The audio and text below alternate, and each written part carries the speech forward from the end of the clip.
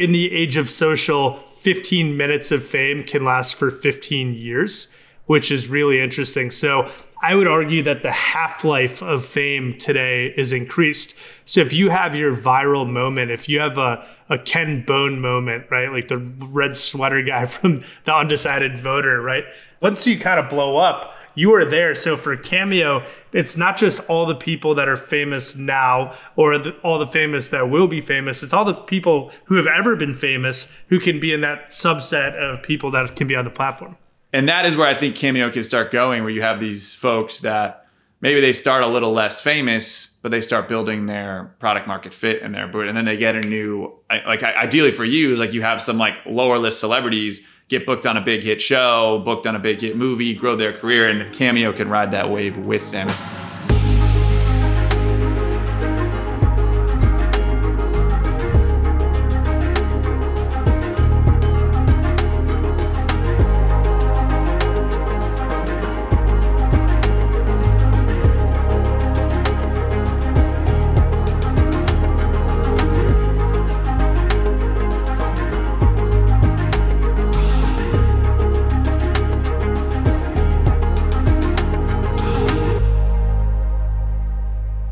Welcome back to Yang Speaks. It's Thursday. And you know what that means? It means your co host, Zach Graumann, is hosting the next episode of The Future of. And today's episode is on the future of celebrity. And we've got someone I've known for a while whose career I've been able to admire from a distance and finally got him to come on the podcast. Steven Galanis, founder and CEO of Cameo is joining. And we talk about, so if those of you not use Cameo, it's pretty cool. It's a way for anyone to find a celebrity, an athlete, an actor, superstar, musician, you name it, to get these individuals, these people you love, to send short videos to other people you love. So you can send a video of Stanley from The Office giving a shout out to your best friend. It's a pretty, uh, amazing tool. They're growing like a weed, just got valued at a billion dollars. Like this company is really, really fascinating and redefining how we interact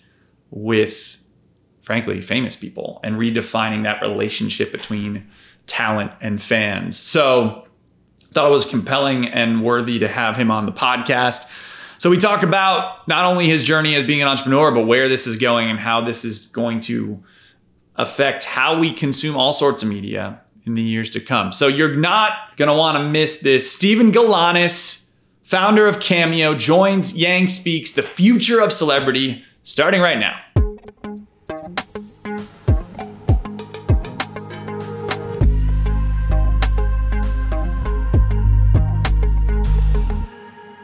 All right, ladies and gentlemen, it is my privilege to welcome world class entrepreneur. Actually, world class. We used to just say entrepreneur. Now we can say world class. World class entrepreneur, co founder and CEO of Cameo, Steven Galanis. Mr. Galanis, welcome to Yang Speaks, the future of. How you doing, man? Thanks for having me, Zach. Glad we snagged you, man. We uh, you've just been doing a, a big PR tour. Um, Cameo was just value valued at a billion dollars. So this this thing started from let's call it a, a figment of, of, your imagination into something that's employing hundreds of people. So let me say this: just it's an awkward, weird question, but now you you're worth a lot of money on paper, as is your company. What's how you what's the, like the the emotional feeling right now that you have and, and your team's having? well, uh, first off, Zach, uh, again, thanks for having me.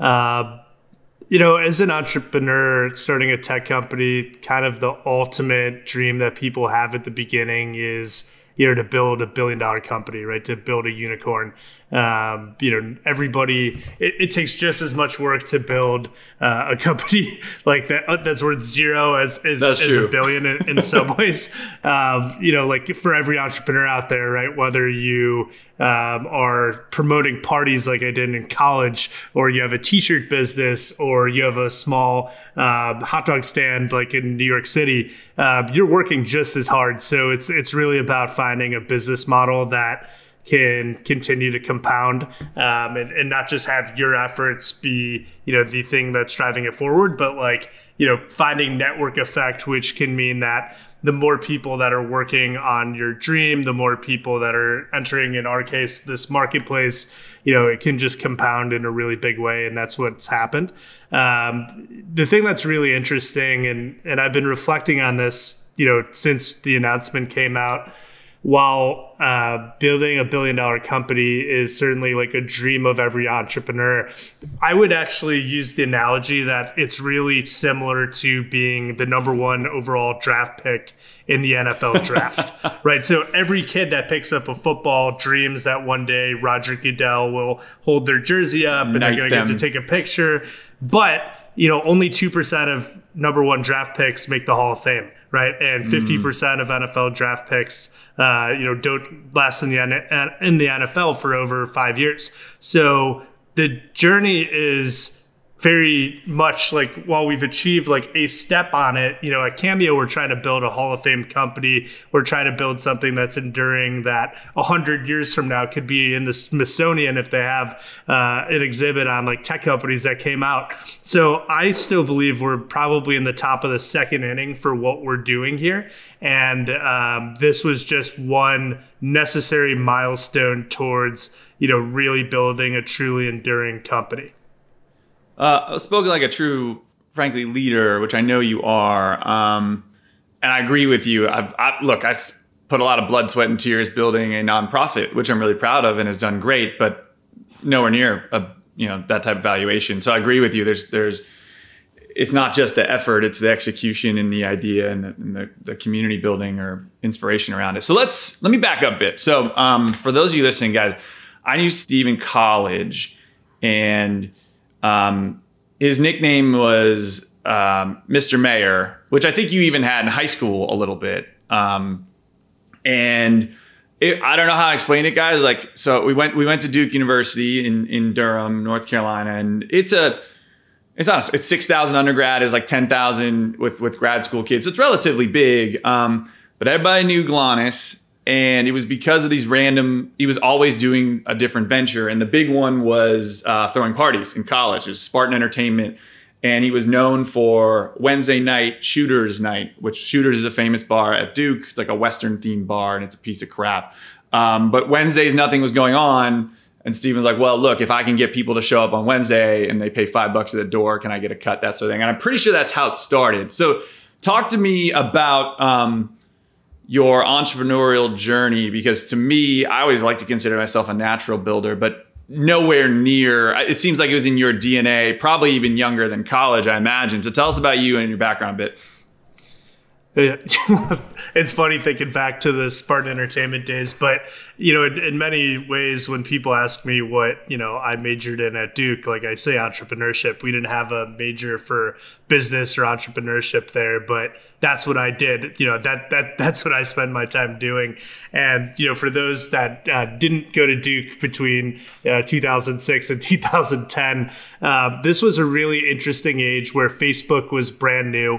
Um, you know, Zach and I were the first grade of college students that actually had Facebook for throughout the entire D of our college experience. And back then you had to have the .edu address to even uh, get onto the network. So I remember, uh, you know, when I was a senior in high school, people would like apply early to a safety school and put the deposit down just to get the .edu address so they could join the Facebook at the time. It and, was um, that pretentious and exclusive. it was a big freaking deal. And um, one of the things that you know we noticed that was really different for uh, for people like Zach and I versus any other generation that had ever gone to college was that we had this thing Facebook and we were connected with every single person that we met. And in many ways like we're still connected right? Like you know all those people you friended from your freshman year dorm on Facebook you know they've been following everything that you've been doing with your charity with you know with the Yang campaign. Um, so in many ways like we had this built-in distribution network and we kind of came along at the right time uh, back then bar owners were not able to be on Facebook. So back in the day when you know you created a Facebook group and people joined, and you created an event and people showed up, uh, me and a guy named Zach Maritas, who's another uh, entrepreneur who was a senior when I was a freshman. Uh, and is now the CEO of a very successful tech startup back in Durham called Teamworks. Zach and I uh, had the idea to start throwing non affiliated parties because, well, Zach and I were friends. We were in different fraternities. So if Sigma Nu was throwing a party, the Delta Sigs wouldn't show up. If the ATOs were throwing a party, the SAEs wouldn't come. But Zach and I decided to create our own branded parties that were unaffiliated. And slowly but surely, everybody started coming. So it didn't matter what fraternity you were in. It didn't matter if you were in a fraternity. It didn't matter if you were in band or a football player. Like you came to, to our parties. And, um, and over a four year period, we took uh, starting with one event, which was uh, putting beer pong tables out uh, on Wednesday night at like the big bar on campus that used to be closed and offering $3 pitchers and taking the cover charge. Um, we ended up having over 17,000 college students in this Facebook group and started a variety of businesses uh, off this key asset. So we had a college boxes business for a couple years. We had a hot dog stand at one point. Uh, we did DJ equipment and t-shirt rentals and venue bookings, like you name it. Zach and I were doing it, and I think it really gave us uh, our first taste of entrepreneurship. And for Zach, you know that capital from Spartan Entertainment was a lot of the seed money that started his business, and he's continued to do that uh, today. And like I said, it's a very successful business. And for me, uh, this you know taste of entrepreneurship was something that I could never fully get out of my mouth. And when I ended up leaving Durham and uh, going to be a trader for a few years and working at LinkedIn, like I did other cool things, but that entrepreneurial bug kept you know kept nagging at me. And uh, i really believe that like the 3% of people on earth who have that you know, mutation in their brain that makes them like a true entrepreneur uh, it's almost impossible for those people to to do great like the best work of their lives if they're working for somewhere someone someone else. And i would put myself in that case. And uh, and for me you know, Cameo has been something that's really at that ikigai point for me. Ikigai is this Japanese philosophy that believes that your true life's calling is the intersection of what do you love to do, what are you great at, what does the world need, and what can you ultimately get paid for. And it has to be at that like pure intersection point. And you know, Zach, I'll ask you. Uh, you know, you've known me for a long time. Like, is this bit is is the fact that I started this business surprising to you? Oh, dude, not not at all. Um, you've got these smartest minds in the world in, in many ways at Duke University, and they're all like slaving away at their econ exams and their chemistry exams, this thing, and you're out there throwing parties, which seems like a joke. Um, but on the other hand, you're learning 10 times more, like, because like you're negotiating deals and you're going contracts and booking venues and recruiting people and developing a marketing plan and like, raising capital and like investing in new businesses.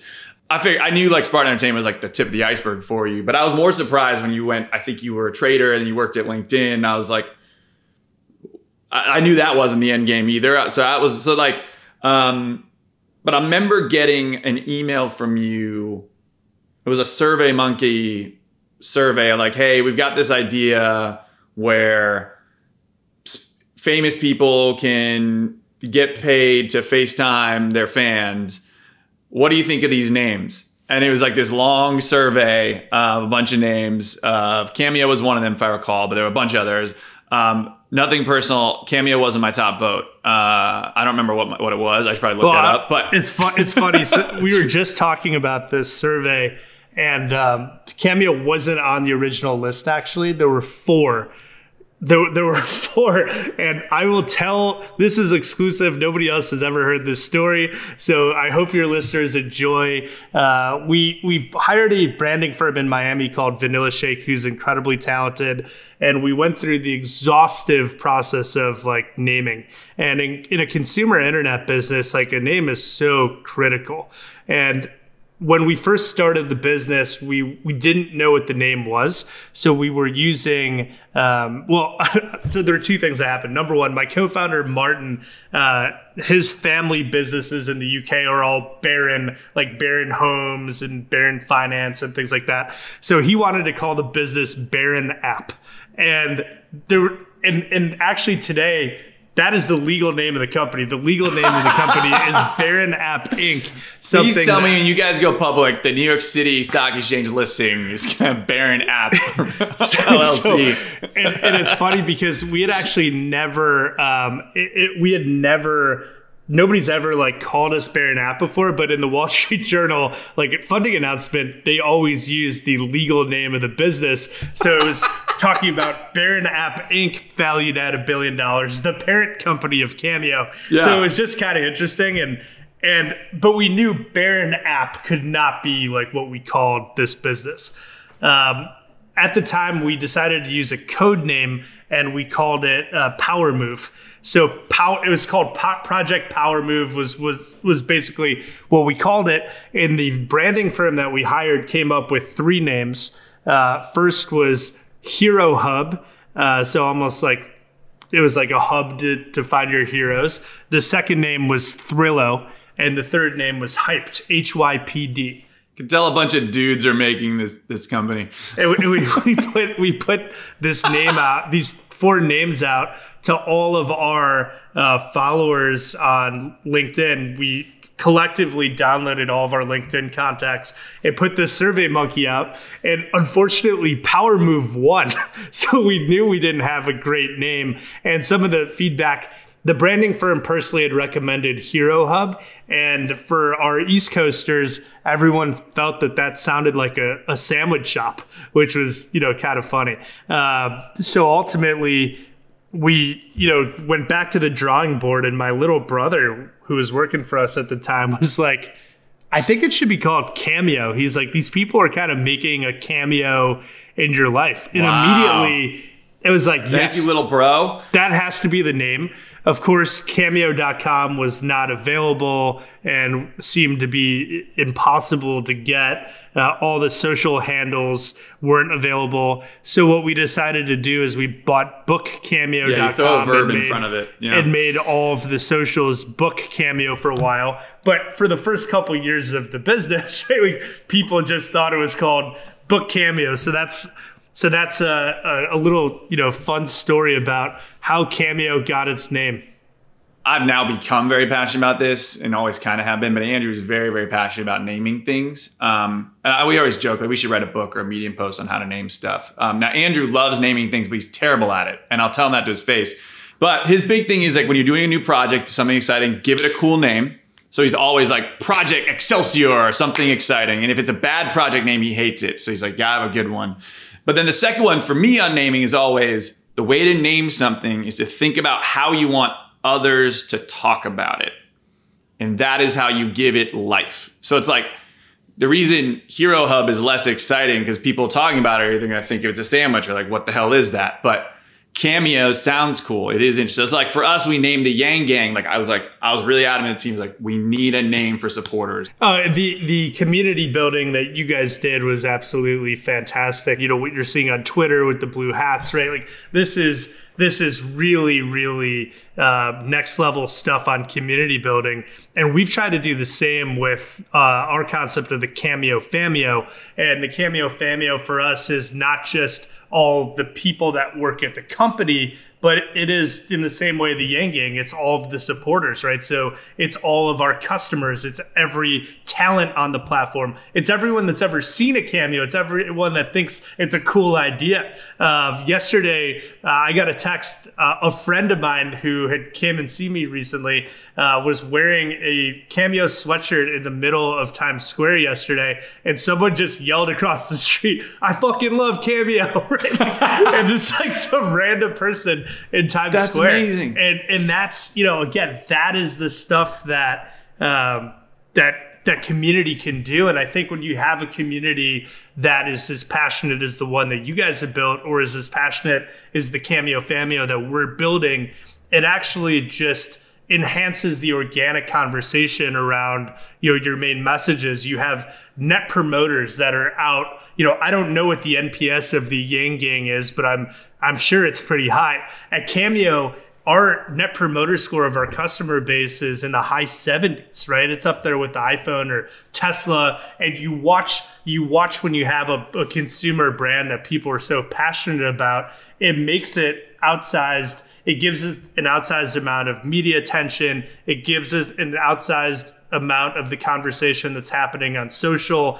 And it just projects this aura around the brand or the candidate or the message that you're doing that amplifies it naturally. So um, i think naming is critically important as andrew does. And i think activation of community is like the biggest superpower on earth. And this is why when you're watching what's happening uh, with the influencer world right now or the larger creator economy um, you know, I saw yesterday Kim Kardashian uh, finally became a billionaire. And one of the interesting lines in the story, right, was that they asked her who's the next, you know, Kardashian that's going to be a billionaire. And basically she said, we all are going to be right like because we've all built this following and we all uh, you know have you know have this huge movement of supporters behind us. So you know you can give us a product and we can put it out there and we have equity in that It product and, and it sells itself because we have distribution. With spartan entertainment we did the same thing. So i really learned about kind of branding there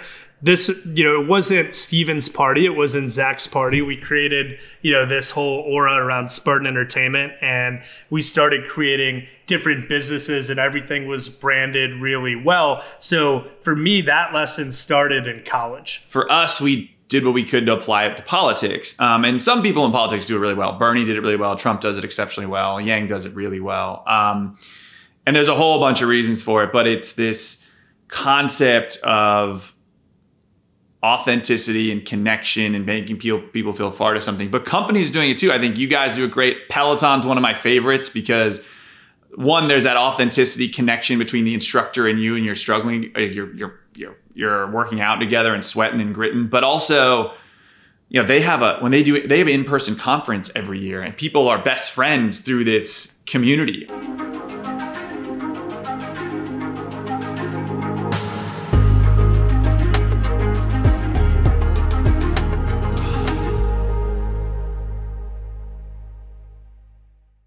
All right. If you've been listening to the show for a while, you've heard us rave about our Helix mattresses because they're awesome. So, Helix Mattress has left the bedroom and started making sofas, and they started a company called Allform, and they're making freaking fantastic sofas. I have one in my apartment. It's light gray, it's three seats wide, it's got a little foot thingy, and it's freaking amazing. What makes this thing so freaking cool? It is so easy to customize a sofa without like compromising quality, right? So you can pick your fabric, you can pick your color, you pick the color of the legs, your size, whether you want the massive sectional, you want the little ottoman, little leg thingy, you can do it all. They've got armchairs and love seats all the way to eight seat sectional, so it's massive, and they're delivered to your home like the mattress, and you can assemble it yourself.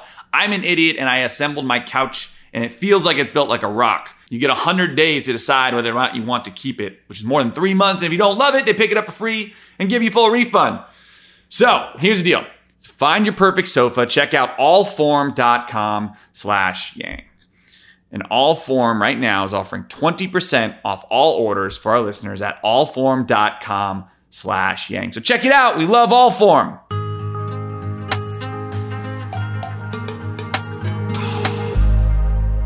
For those that's like never used Cameo, I, I know you talk about this all the time, but talk to me a bit how it works, just high level, and then I have a bunch of like nitty gritty questions. Um, but let's, I'll, I'd rather have you explain it than me, if you will. Sure. So Cameo is a marketplace where you can book personalized video messages from over 40,000 of the most exciting names in pop culture athletes, actors, entertainment, entertainers, musicians of all kind. Um, you go to our website, cameo.com, where you can download our app on uh, on Apple or Android. You can browse through the talent Um, every talent sets their own price. So today, people range from zero dollars to ten thousand dollars. Uh, the average video is about seventy, so it's a lot more accessible than you know most people would think. Uh, when you find someone you like, you can craft a 250 character message. You click submit. The talent then has uh, seven days to basically take your script and turn it into a bespoke, you know, one of a kind piece of content uh, that you're either giving to somebody else or you're having for yourself. And then they you can save it though on your if you get it in your app, you can save it and then share it with your friends or keep it forever, that kind of thing, right? Exactly. Yeah. The the idea that really gave birth to Cameo was that the selfie was the new autograph. If that is true, right? When when Yang shows up at some event everybody, all the supporters want to end and take a picture with him, and then they want to put that on social, and it's kind of proof that that happened in a world where you can't be with him at that time, right? Um, this is a way to take a selfie, removing location as a variable, right? So by having a video message that's bespoke, that's saying what you you want them to say, and then you post that on your Instagram or you posting it on your Twitter, it allows you to have that similar selfie experience without meeting the person in real life. And that ultimately enables talent of all types to impact way more of their fans because they're not limited by location as a variable. I pay 150 bucks, 300 bucks, fifty dollars, whatever that math is, and then you guys get a cut, and then the artist gets like eighty percent, you get twenty, that kind of thing. Yeah, we take twenty five percent of every transaction, and the talent makes takes seventy five percent, and they all set their own price. So um, that's and, and at this point, the thing that's pretty cool about the platform is in the same way when somebody's in New York City looking for real estate, they're going on Zillow and they're browsing, you know, within a building. Hey, here's the two bedroom, two bath. Uh, this one is a higher floor. It's got a nicer view. It's got a different kitchen. People are going to Cameo and they're ser- and they're searching people on relative value as well. So if you love the New York Knicks. Uh, or you love the Rangers, you can go look at all these people and they all have their different price. And especially for athletes, like a lot of times, you know, someone like Brett Favre might just he was number four his whole career, so he'll put a couple zeros behind it and be four hundred dollars. But you know, then you might see somebody like it, for the Chicago Bears. This is a great example. Uh, Brian Urlacher and Lance Briggs were relatively similar players for the Bears, like both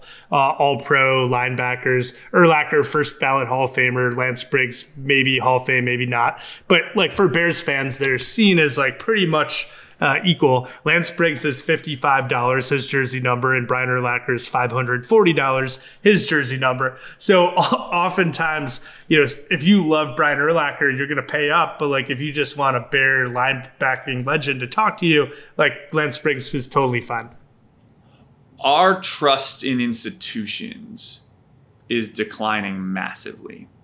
And I think it's a combination of things. We're an older country, so our institution, our institutions have objectively failed in almost every uh, area. You go from education to healthcare. Blah, blah, blah, in 20, 2020, just if anybody doubted that, yeah. Tw- tw- yes. 2020 just Didn't whether help. it was health, healthcare or education, trust in government, government, like, or you know, voting or like whatever yeah. it is, right? Like every single sacred institution, uh, religion right, just came under massive question this past year, right? And uh, and this is actually like tees up really well, kind of like our long term vision.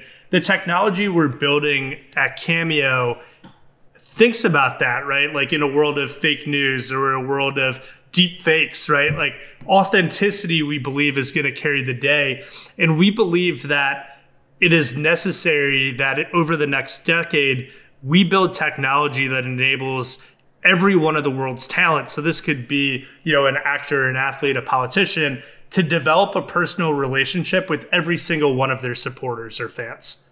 Right? And, and 10 years ago, if we had talked about that, that would have been like absolutely impossible. You know, you think about showing up at a um, at a Jay Z and Beyonce concert and like looking at the hundred thousand people in the football stadium and thinking like, wait, in the future, like Jay Z and Beyonce could have a personal relationship with every single person here and all of their millions of fans around the world. No way, right? But like now, as we're watching, you know, products like Cameo, you know, other products going on in the space, you can start to believe that this is going to be possible.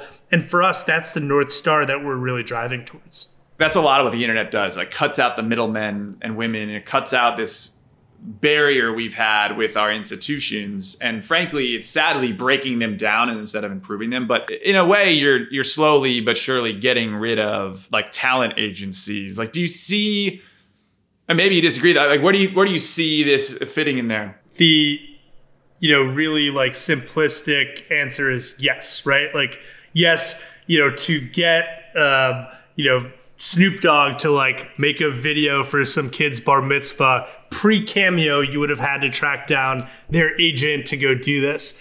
The reality is, agencies are great at being Madison Avenue salespeople, right? They are unbelievable at connecting you know athletes and actors with brands they uh, can help negotiate their contracts with a television network or with a sports team or the split with their record label like that is what they're great at they're great at like b2b essentially right? Like so the talent to like the the business or brand.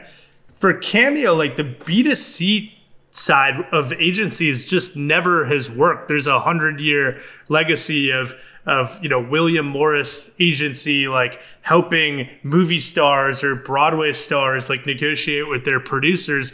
But like they never figured out how do we like connect the talent with their fans directly because it, it was completely impossible pre Facebook, pre Twitter, pre Instagram, you know, pre uh, TikTok, pre these platforms, pre YouTube. So in many ways, like the cameo revenue is not replacing at all, you know, any significant part of the revenue that's coming from talent agencies. It's just literally creating net new opportunities, net new surface area by opening the direct to fan monetization channels up for the first time.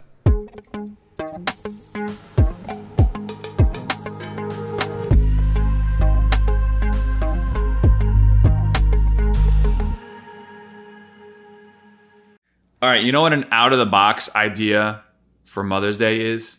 A Hello Tushy bidet.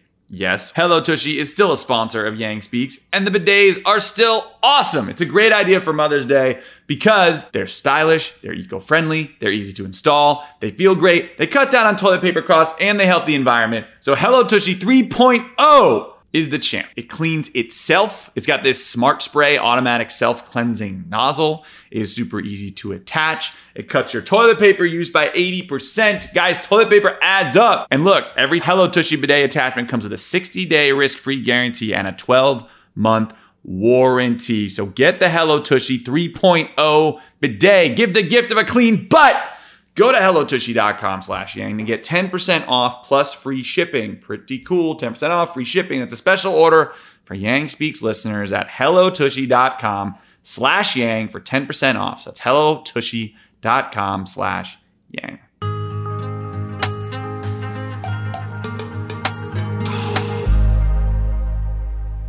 One of the things that we did with Andrew was um, the concept of product market fit, where it's like, so in the really early days, we're out there trying to make Andrew a politician or like trying and I'm taking him to fundraisers and like dragging people to these fundraisers and it just was like flopping, right? It was just like trying to like presenting him to the political class and establishment. They're like, "Who are you? What is what are you talking about?" right? And instead of um, making him appealing to everyone, what we did is we found the people who thought Andrew was appealing, right? Instead of like we've kind of flipped it where it's like, no, Andrew, you be you, and let's find the people that like you and grow it. And so um, I'm curious from your angle and how you're looking at this, where it's like you get on a hit Netflix show, right? Instead of as an actor, let's say for example, or maybe an artist, you do the same thing, but as an actor, you got to get your next thing quickly to stay relevant, right? But in yours, like sure that's helpful but if someone's awesome on a great tv show they can start building a fan base through cameo without their next big thing. Like ah, like is that the future? Like what talk to me what yeah, you think about yeah. the product market fit thing. so two so two things. Number one um, i love what you talked about of finding the supporter base and in the same way right you can imagine building the cameo market marketplace from scratch. And just like any marketplace, you have the cold start problem, which is, you know, we need to build supply and we need need to build demand. Like imagine the early days of Cameo where we had a platform where we connected fans with their favorite athletes, but we had no athletes and we had no fans on it, right? Like, where, where do you get yeah. first? Do you get the fans and then tell them, hey, stay tuned? Like, eventually we're going to have yeah. people to come here. Or do you get the athletes and put them on and there's no fans, so they join this thing, they promote and, and they don't waiting. get booked, and it's just like a disaster? We, we had pretty high conviction in our case that the supply side was going to be the critical side of our marketplace. So we spent all of our time, you know, early focusing on supply side acquisition. So getting athletes, you know, musicians, reality talent onto the platform. You get and, Brett Favre, then you go out and find as many Packers fans as you well, can. Well, the nice thing is we didn't even really have to do that because Brett Favre has social media, right? And social media, oh, you know, he has a million. Like, hey, he can send yeah. a tweet out, and he's got a million followers. So all the Packers fans are already following him. So in many ways, like in our marketplace, supply could beget its own demand. On the same time, when we were thinking about the universe of the five million people on Earth that we think could be on Cameo what I came up with early was a framework for the young kids that were working for us or interning us that same summer. I remember drawing a two by two on the whiteboard, and the x axis said willingness from like zero willingness uh, so think Marshawn Lynch at the Super Bowl, right? Like he got fined, you know, like a hundred thousand dollars to not talk at the Super Bowl, which is like every person's dream is like be in the Super Bowl, and he yeah. like refused to answer I'm questions. I'm just serious. I don't get fined, whatever it all, is. Yeah. All the way to like me, you know, at the far end, right? Like I'm the founder of Cameo. I am the number one most likely person in the world to like do a Cameo video, right? So that's the x-axis, and then the y-axis from like me to like Justin Bieber or like LeBron. So yeah, my mother at the bottom. yeah, LeBron the y-axis right. is fame. So of course we want people in the top right quadrant, super famous, super willing. We didn't want to deal with anyone in the bottom left, not that famous, not that willing. If you get someone, you know, like they're a third string, you know, left guard from the Cleveland Browns and you know they're no offense, they, and people guys. and people no people book them and they don't do the they don't do the video right? Like that's such a shitty experience that you don't want that. And we made a really controversial decision early which uh, is, is it was contrarian I would say even more than controversial. We focused on people in the bottom right less famous more willing. Over the top left more famous less willing for two reasons. Number one, we believe that if Thad Lewis, the former Duke quarterback who, you know, spent uh, seven years as a third string backup quarterback in the NFL, but Play for the charged, Buffalo Bills, love you, Thad. But, but charged five dollars and does all the videos in two seconds. That's such a magical experience. We would rather have him on the platform than Tom Brady at fifty thousand dollars that doesn't ever want to do any right. So for us, that's what we really focused on was less famous, more willing. That built liquidity. It rigged the customer experience to, to really wow them. And our belief was if you paid fit, if you paid five dollars to have a great experience with Thad Lewis in the future, you know, when we got Andre Reed on, or we when we got Jim Kelly on, if you're a huge Bills fan, you know, for two hundred or five hundred bucks, like you know Cameo's great and you know what to expect, and that'll work. And that's that was a big part for us you know, in the age of social, 15 minutes of fame can last for 15 years, which is really interesting. So I would argue that the half life of fame today is increased. So if you have your viral moment, if you have a, a Ken Bone moment, right? Like the red sweater guy from the undecided voter, right? Like that guy's on Cameo and he gets booked today for like 15 minutes of fame because he blew up on Twitter and now he has an audience. And even long past he's you know his time of being like in the spotlight on CNN every day like he now has a network that he can use as distribution for anything else that he's doing because people tend not to unfollow people except for like very extreme grievances. So once you kind of blow up, you are there. So for Cameo, it's not just all the people that are famous now or the, all the famous that will be famous. It's all the people who have ever been famous who can be in that subset of people that can be on the platform. it's this interesting concept of of a platform, of a personal platform. And that is where I think Cameo can start going, where you have these folks that maybe they start a little less famous, but they start building their product market fit and their boot, and then they get a new like ideally for you is like you have some like lower list celebrities get booked on a big hit show, booked on a big hit movie, grow their career, and Cameo can ride that wave with them. If you want a graphical representation of where we have product market fit, turn over the back of a $1 bill and you know you can picture the pyramid with the eye on top, right? Cameo's product market fit for you is talent the second that you have your first like you know you get on your first episode of some show or you have your first song and it continues all the way till the top of the pyramid where you become like the most famous people on earth.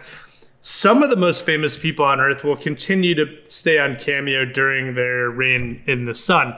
But there's other people that get so famous where, and just so you know, most talent are motivated by three things money, fame, and love right? But there are some people who become so famous and they become so beloved and they become so rich that they don't need more fame, they don't need more love. They yeah, just kind of want to be fans. like they, yeah. they, they kind of want to be left alone. But the thing that's interesting is that this is dynamic. People are constantly moving up and down that pyramid. And there's other people who were the most famous people in the world, and then they're suddenly not anymore, right? You think of you know how big Brett Favre or Ray Lewis were, and you know they're always going to be legends. They're Hall of Famers. Or Charlie Sheen, right? Charlie Sheen was the highest paid actor in in television, you know, for for a long time. And then you know social media because that 15 minutes of fame can last for 15 years it gives them a platform where they can go forever so there's also this like this this this right edge of the pyramid which is like your nostalgia point where people like you know James Van Der Beek or you know someone from like Buffy the Vampire Slayer, like these shows that you loved as a kid, right? Like you might care to hear more about them than uh, Justin Bieber right now because they had some like meaning to you growing up.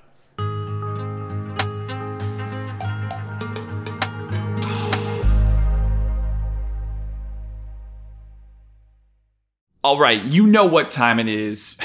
here on Yang Speaks, we are always sponsored by Athletic Greens. I freaking love Athletic Greens. I use it all the time. Every day, wake up, open the blue pouch, pour this green powder into half a glass of water, mix it up, and drink it. And it's wonderful. It makes me feel better. I don't eat that well in the pandemic, and this makes me feel like I'm covering all my bases. And that's because one scoop of Athletic Greens, which tastes great, contains 75 vitamins, minerals, whole food source ingredients, including a multivitamin, multi-mineral, probiotic, green superfood blend, and more. They all work together to fill nutritional gaps in your diet, increase your energy and focus, which it does. It does increase your energy and focus a bit, and aids with digestion and supports a healthy immune system, all without the need to take multiple products. So here's the deal. Visit athleticgreens.com slash yang and join health experts, athletes, and health conscious go-getters around the world who make a daily commitment to their health every day. Simply visit athleticgreens.com slash yang.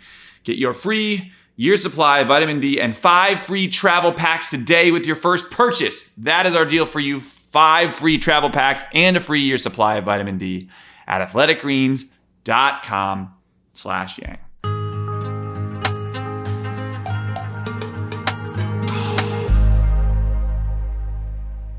You're growing like a weed. The pandemic accelerated your already pretty strong growth, frankly. Um, and you've got, if I get this number, at least over 200 employees working for Cameo, right? And they've been most of them hired in the past couple of years, I'm assuming. Um, but I, I want to say this, and I think you agree. Hiring 200 people in a year is fucking hell.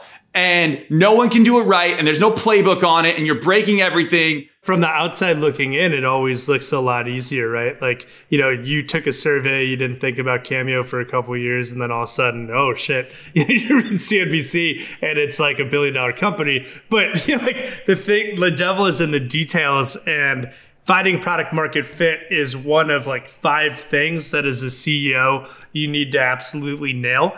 Um, hiring is interesting, and because I worked at LinkedIn, I think I have like a pretty unique perspective on it. At LinkedIn, we used to pride ourselves as being the best hiring company on earth because we had every resume on earth, right? No other company has every resume.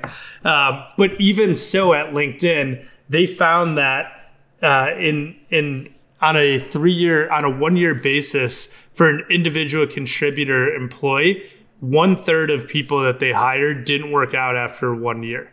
Right? One third? One third. I know that this is also the case at companies like Amazon, where at Amazon, uh, they give, they find that I think it's 72% of the people that, um, that they extend a internship, like a, a pre uh, graduation internship for, that they'll give a full time offer. So somewhere between 25% and a third of the people that you hire, even if you're best in class, right? And you're LinkedIn, your your Amazon, your Apple, your Microsoft, these are Hall of Fame companies, right?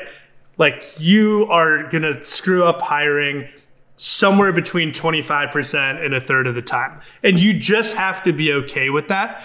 And the and it's interesting, I just did an interview on CNBC talking about this. I don't think it's inherently a lot of people say, "Oh, making mistakes is great. It's like inherently." I don't think making mistakes is inherently valuable at all. But what I think is valuable is to quickly address the mistakes that you made. So, so one of the things that we do at Cameo that's really interesting is we've rolled out something called the MVP performance process.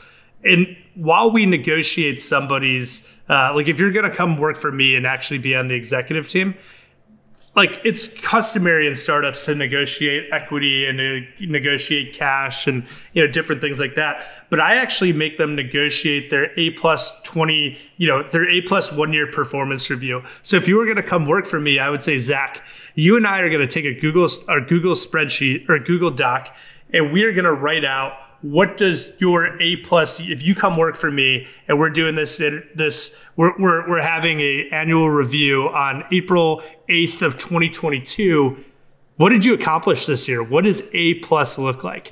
And we will go back and forth we'll redline this thing and when we get it in a place that we're both we're both excited about we then use that as the benchmark for how your performance is actually happening in the company. So at 90 days we'll take a look at this and we'll say hey zach here was that A plus performance review that we agreed upon when you came in to to come take this job. Um, you know what? I actually think you're surpassing it. Great fucking job. You know, give you like give you uh, you know a smack, you know a smack and, and tell five. you like yeah. high five, keep going, right?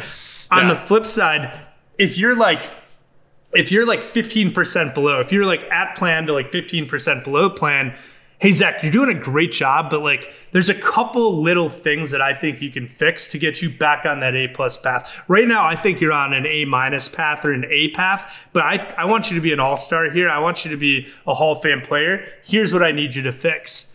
Sometimes people are 15 to 30% off, right? And at that point, you're like, hey, you know what, Zach, like I'm gonna really need you to see, you know, some improvement here. Otherwise, like I think we're gonna fall short. I just don't have confidence that we're gonna make it. And then there's other people, and you've hired them on the campaign where you know, you know, like by lunchtime the first day that like they are not the right fit, right? They're they're more than 30% off the mark. Those are the people you just gotta fire immediately and just say, hey, you know what, Zach, thank you so much for taking a shot on the campaign. Um, this isn't going to work out. I don't think this is the best fit for us. This is the best fit for you.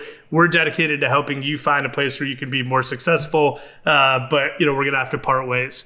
And being maniacal about that and being okay with making mistakes because look, it's it's there. And the other thing I'll mention too, like we take a lot of pride in the culture that we built at Cameo, and you know we've been our culture has become you know famous. You know we've won all types of awards for the culture that we have. But I believe that culture doesn't get set top down. It doesn't come from you and Andrew. It actually culture is happens at a very local basis, right? If one individual team hires an asshole on it, the 10 people that work with them every day, their work just sucks more for them than it the did The culture before. becomes like hating the asshole. So, so ultimately, I believe that culture changes every time that you hire somebody. It either gets better or it gets worse. And this is where, you know, you have to look at your mission, your vision, and your core values and really be maniacal about, hey, here's this person that we just brought in are they going to help us achieve and manifest our long-term vision and mission and if not you got to swap them out and find somebody else that can our biggest blue chip companies do not get this right So it's ridiculous to think like startups or campaigns gonna get it right. No, no, nobody nails it, right? And another thing too that I've seen in my career, right? There are people that have done exceptional work in the past. People I knew from, you know, college, people I knew from working at other companies with them, that sometimes they come when they're working with you, it might not be the best point of their life. Like they might be going through things at home. They might may have health issues, right? We're, we're humans. So it's, it's about like how do you find people that are doing the best work of their career and my exec my executive coach is a guy named bing gordon and bing um, when we were when we were talking about last year like I, I went through rebuilding my entire executive team during a global pandemic as we decided to move to a fully distributed company right? So prior to that, Cameo was headquartered in Chicago. Most of the executive team was in Chicago. We had a couple sprinkled in LA. And we then decided to get rid of our offices, have a national search for CFO, for COO, for CTO, for chief people officer. And we said, we don't care where you live. We just want to get the best people no matter where you are. And and and as we were going through this process, I asked Bing, I said, Bing, when you've been around great executive teams at Amazon, at Zynga, at Electronic Arts, you know, at countless companies, like what what causes teams to really gel and become Hall of Fame? And he had this story about uh, Ray Bourque, the famous hockey player from longtime Boston Bruin. Ray Bourque played, I think, 19 years from the Bruins, never won a Stanley Cup. Halfway through his last season, they traded him uh, to the Colorado Avalanche, and he won the Stanley Cup in Game Seven, like on his last game. And and Bing said, he's like, I ran into Ray Bourque on the golf course, and and and I asked him, Ray, what did it take to win the Stanley Cup? And he goes, you know, you need uh, a couple sat grizzled old vets that still have a blue burning flame. So they've had a Hall of Fame careers, but they still like are hungry for to lift the Stanley Cup one more time, or or maybe they never they've had a Hall of Fame career and they've never won, but like this just gives them that blue burning flame that they've accomplished everything, but they like need to do this, and you kind of need that veteran leadership.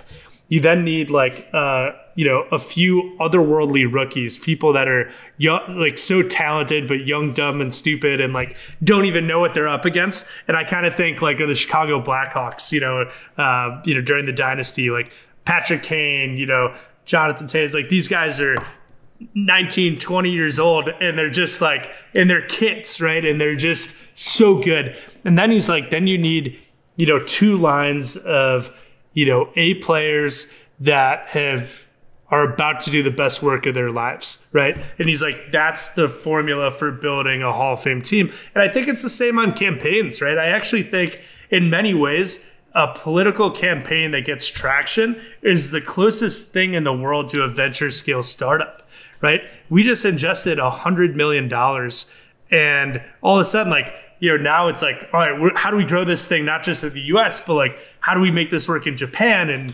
Brazil and all over the world? And like, in time is money. That money's in the bank, and the clock is starting. Just like for a campaign, you know, you guys have a huge fundraising quarter. You have to scale up operations, and it is like you know, guns blazing. The difference is on a campaign, eventually it just ends, right? It's oh, election. Oh, yeah, he's running into a wall. It's like and you building an Amazon and, just, and shutting it down. And shutting it down. Where for us, when you're in that blitzscaling mode, you have to make sure that you build a culture that can sustain. And, you know, and it's still a place five years from now that people want to come and work every day because they love the vision, the mission, and the team that you've built around them. And, and also it is like it is um, the challenges of hiring people fast and building something on the fly and the combination of inexperience and veterans and building bringing building a team and stuff that's not an excuse for screwing up. Like we like you know like we made a ton of mistakes. Um, and some I like personally like regret. So that's not an excuse to screw up. Like you know, like uh, there's still responsibility to be had. You still have to build a good culture, despite despite the odds stacked against. You still have to hire great people, and like even though it's like in many ways like you're you're shooting in the dark, it's like a, a bit of a luck game. And look, the other day, like there's this is not a boo-hoo conversation. Like the, the reality is, we knew this too. Like Andrew and I, like this is the NFL, or to keep our sports analogy. This is the most competitive environment in the world. Like you're in a startup world, like you're trailblazing. It's the most competitive environment in the world. Politics, same thing, maybe more so because it's so public. Um, and You're gonna make mistakes. You're gonna make awesome decisions. You roll with them. You learn from them. You go. Well, even even to the NFL analogy, right? Uh, NFL is a 52 man roster, 53 man roster, and I think training camp starts somewhere like, you know, they get about 80 people on the training camp roster too. So it's also that same like, you know, 20 to, you know, 33% of people that aren't working out. And, you know, you're, you're having this trial by fire and there is no room on an NFL team for the people that aren't going to help you win games in the future, right? So just because you did great work before, are you going to be able to you know help win the next super bowl like that's what you're optimizing for and in both you know political campaigns and startups i think it's the same right it's like you you need people that have been there done that but you, you should also be hiring for ceiling versus resume right um, and if you have a longer term timeline, which I know you guys do, then you can. You can have people grow into roles. One of the hardest parts of campaigns, like, hey, you know, you, you got three months here, you can't grow on the job. You don't know how to do it, you don't. What's future cameo, future this, but also like kind of the future of the marketplace too. Where, where do you see this going? We're really excited about the vision of the company, which is in the future, like we want to create technology which enables every talent to have a personalized relationship, a personal relationship with every single one of their supporters or fans. Uh, that's really exciting. I think it opens up a host of new formats for us, not just the personalized video message, which you know we become famous for, but uh, things like our new fan club offering, uh, things like Cameo calls, which is synchronous video chats, uh, things like Cameo Direct or, or DMing product.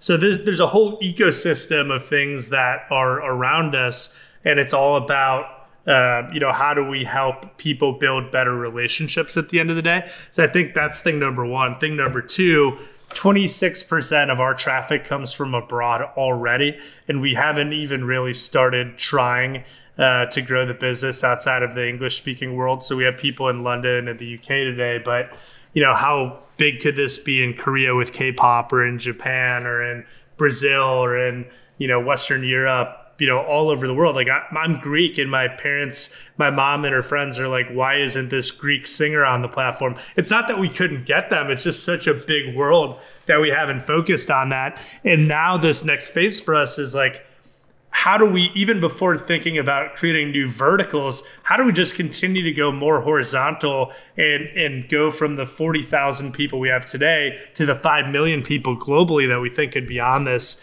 uh, as quickly as possible so that's that's kind of what's next well, I think that's exciting. It's also talking about like democratizing entertainment and fame and, and talent in certain ways. Like I love, I love that show Lupin on uh, on Netflix or Lupin if we want to Americanize it. But it's like an American it's a heist movie, uh, but it's in French. Be- bringing French entertainment to the United States and UK entertainment and Japanese entertainment. This is becoming an international landscape instead of just an American landscape. And I hope, frankly, I'm excited to see Cameo play a front and center role in that. So, look, man, uh, congratulations on building this. Entrepreneurship, I use the bamboo analogies. Like bamboo takes like two years to grow like six inches.